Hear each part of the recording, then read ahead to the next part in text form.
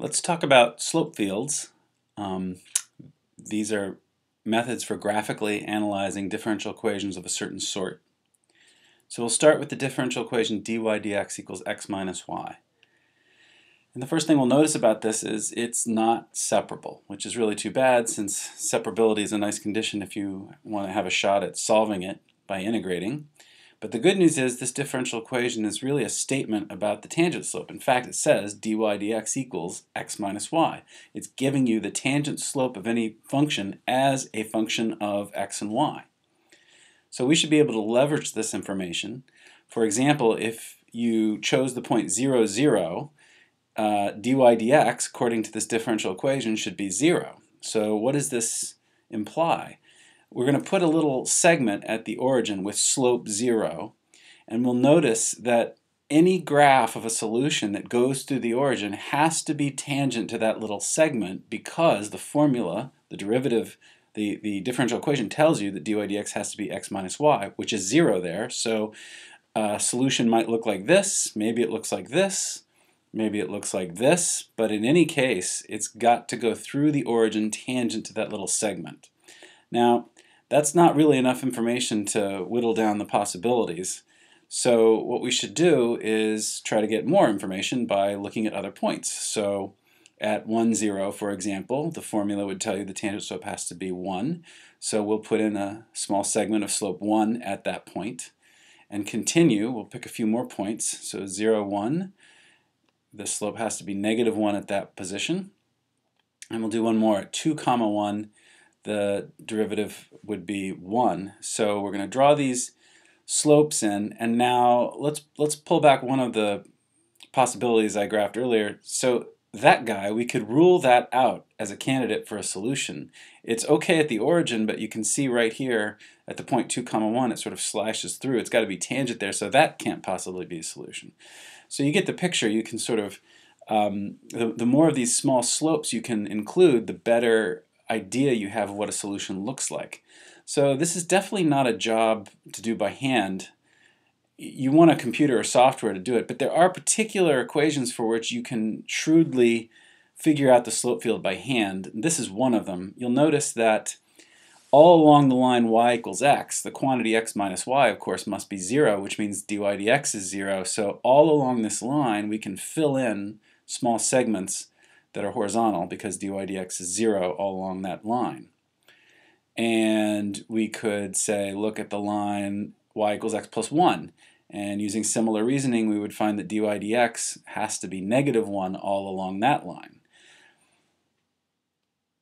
And moving along to any particular line, you can play the same game. So along the line x minus 1, dy dx winds up having to equal 1 all along that line and so on. And you can keep reproducing these slopes and pretty quickly you realize that your slope field looks something like this.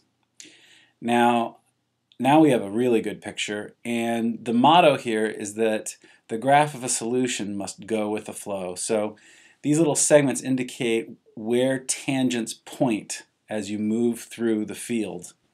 So a solution might look something like this, or this, and so on and you get better with this over time trying to sketch possible solutions but the key is you never want one of your solutions to slash through one of the slopes you've drawn. You always want to go with the flow. Now without performing any calculations to speak of I mean we just were adding some numbers and subtracting some simple integers and you've got a pretty good idea of what solutions look like graphically. That's pretty impressive. But we can even squeeze more out of this problem because there's one particular guy that looks intriguing here, it really looks like the line y equals x minus 1 is a solution. And we can check that with not much trouble because we can, if we take y equals x minus 1 and take the derivative, you just get dy dx equals 1. On the other hand, simple algebra tells you that 1 is equal to x minus y all along that line. These two expressions are of course the same, so yes, y equals x minus 1 is indeed a solution. So we were sort of led to, we were inspired by the slope field to even guess what one of the solutions was, and we had no way of attacking the original problem uh, using separation of variables or any other method. Let's look at three examples of slope fields and make some observations about what kinds of behaviors you might be seeing. So here's, a, here's an equation, dy dx equals y minus 1. And the thing you'll notice here is the, uh, the formula for dy dx is, is a function of y only, and there's no dependence on x. And this is reflected in the slope field in that the slope that we draw is the same along each horizontal line, since the x-coordinate is irrelevant.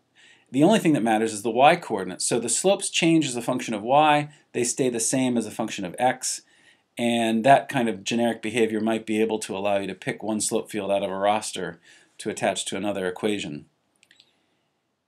A similar thing happens when dy dx is only a function of x. If there's no dependence on y, then of course the slope is, along, is the same along each vertical line, since y-coordinate is irrelevant, and then your slope is only a function of x, the horizontal displacement from the x-axis. So here's a third example, which is obviously more complicated. dy dx equals x squared minus y squared. We've used some software to generate the slopes, but we could analyze this. It's worth analyzing a little bit what's going on here. So one question is, when is dy dx equal to 0? So we set x squared minus y squared equal to 0, factor, and solve for y, and you realize that the line y equals x and y equals negative x provide the location of all the spots where the tangent slopes are horizontal. And that seems to agree with our picture. We could pick another value of dy dx, when is x squared minus y squared equal to 1, and you should recognize that equation as the equation of a hyperbola. And we sketch that hyperbola, and it seems plausible that the slopes anywhere along that hyperbola appear to be 1. Now, not many slopes are right anchored at the parabola, but seems reasonable. And you can play the same game with dy dx equals negative 1, and you get the equation of another hyperbola. And pretty much all along that hyperbola, you can sort of tell that the slopes at those points are negative 1. Now, all of this becomes a little more clear when you get a higher resolution. So we plotted more slopes and we, we kept the hyperbolas and you can see that anywhere along the green hyperbola the slopes are 1, anywhere along the purple hyperbola the slopes are negative 1, and along the dashed blue lines the slopes are all 0. Now please do not confuse these curves with actual solution curves. These are meant to be curves where the slopes are the same and a solution curve has to go with the flow, so to speak. So this would be an example of a typical solution curve.